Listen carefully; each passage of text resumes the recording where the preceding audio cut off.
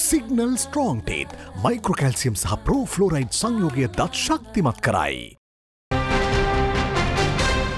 පසුගේ ජනාධිපතිවරණේ ඉවරුණාට පස්සේ පාක්ෂිකව හෙව්වා මේ කෝ අපේ අපේක්ෂකයා කෝ කියලා ඇඩ්‍රස් නැහැ හැංගිලා හිටියේ ඒ වගේම තමයි මේ කවන මහමැතිවරණේ පරාජය වුණාට පස්සේ නොවෙන්නේ නැති වෙයි හොයාගන්න දැල් දාන්න වෙයි සියලු දෙනාම දේශපාලනික වශයෙන් ඉපදුනේ තිරිකොත කියන මවගේ. ඉතින් මව දේශපාලන වශයෙන් අපහරණයට ලක් කරනවා කියන්නේ මම හිතන්නේ සුදුසු තේමා කාණ්ඩයක් නෙවෙයි. කෙසේ වෙතත් එක්සත් ජාතික පක්ෂය හැටියට දැන් සන්නද්ධ වෙලා ඉන්නේ. රවී කරුණානායක පක්ෂයේ උපනායකතුමා මේ පක්ෂය බෙදලා ඉවර වෙලා දැන් එන්න එන්න කියන එකෙන් කිසිම තේරුමක් නැහැ. ඒ අය නොයෙක් අභියෝග කර කර යනවා. අපි ආණ්ඩු ගන්න හදන මෙය පස්ස දොරෙන් සිරිකොත ඇතුල් වෙන්න හදන එක විතරයි කරන්න. අර කොකා ඉග්ගිලෙන විතරයි සුද පේන්නේනේ. ඉතින් දැන් තමයි දන්නේ සැබෑ තත්ත්වය මොකද්ද කියන එක. එක්සත් ජාතික පක්ෂයේ බෙදිලා සීසී කළ විසි වෙලා තියෙන අවස්ථාවක අපට තුනෙන් දෙක ලබා ගැනීම ඉතාමත්ම පහසුයි. සජිත් ප්‍රේමදාස මහත්තයා රැස්වීම් 1000ක් තියෙනවා කියලා. තව දවස් 40යි තියෙන්නේ. විනාඩි කීයකට රැස්වීමක් තියන්නද ඔය හදන්නේ? තන්නි කර තමන්ගේ පාක්ෂිකව රවට්ටනවා ගිය වතාවෙත් හොඳට පිස්සු නැටුවා. මෝඩ කතා කිව්වා, ගොන් කතා කිව්වා. මේවට ඉතින් මිනිස්සු hina වෙනවා. මම ඒ කාලේ ගියා මගේ විවාහ මංගල උත්සවයට එන්නේ කියන්නේ ජයා.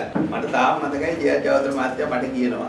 අජේරා මේගොල්ලා මේ ප්‍රේමදාස වෛර කරනවා ලලිත්. ලලිත් වෛර කරනවා ප්‍රේමදාසට. ගාමිණී වෛර කරනවා ප්‍රේමදාසට. ප්‍රේමදාස වෛර කරනවා ගාමිණීට. මේගොල්ලා ජීවිතෝලි බන්දි කියලා තමයි ඉවර වෙන්නේ. කිව්වා වගේම අවුරුදු දෙකක් යනකොට ජේ.ආර් කියපු වචනේ සම්පූර්ණ වුණා. මම දැක්ක ජේ.ආර් හැම හැම වරකට කියලා අත් දෙක උතු කළා නමස්කාර කරා. ජේ.ආර් සුවසේ අවුරුදු 94ක් ආයු වලදලා හොඳට ඇඳේ නිදි ඇඳේ සතපුණා. බලන්න වෛරයෙන් ආරම්භ කරන වෙලාව අවසන් වෙන්නේ කොහොමයි? ඒ නිසා පරිසම් වුණාට ගහන්න නැහැ පාක්ෂිකයෝ.